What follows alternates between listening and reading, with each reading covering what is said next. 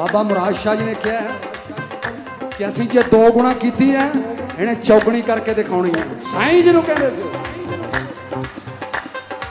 ਸਾਈਂ ਜੀ ਨੂੰ ਕਹਿੰਦੇ ਸੀ, ਉਹ ਕਿਤਾਬਾਂ ਆ ਖੂਹੀ ਦੇ ਵਿੱਚ ਸਿੱਟੀਆਂ ਸੀ। ਕਿਤਾਬਾਂ ਕਹਿੰਦਾ, ਅੱਜ ਤੋਂ ਬਾਅਦ ਨਹੀਂ ਪੜਨਾ ਖੂਹੀ ਸਿੱਟਦੀ ਟਕਾ ਕੇ ਦੋ ਚਪੇੜਾ ਮਾਰੀਆਂ ਇੱਕ ਇੱਧਰ। ਕਹਿੰਦਾ, ਇੱਕ ਹੋਰ ਮਾਰੋ। ਕਹਿੰਦਾ, ਕਿਉਂ? ਕਹਿੰਦਾ, ਫਕੀਰ